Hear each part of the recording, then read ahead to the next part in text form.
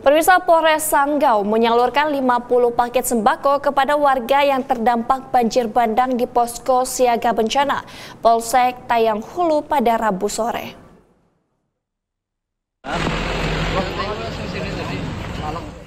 Melansir informasi dari Humas Polres Sanggau, Kapolres Sanggau AKBP Suparno Agus Chandra Kusumah langsung menyerahkan 50 paket sembako kepada warga yang terdampak banjir bandang di wilayah Tayan Hulu.